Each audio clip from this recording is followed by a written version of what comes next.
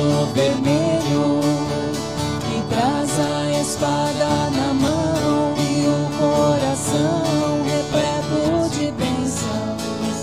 Quem é o santo dos impossíveis, das causas de última hora? Quem é que socorre o aflito, levando a Cristo sua prece Expedito, valente soldado de Cristo. Teu sangue caído na terra é fonte de bênçãos para aquele que espera. Santo expedito, intercede por nós a Jesus. Que amemos o nosso trabalho, tenhamos sucesso levando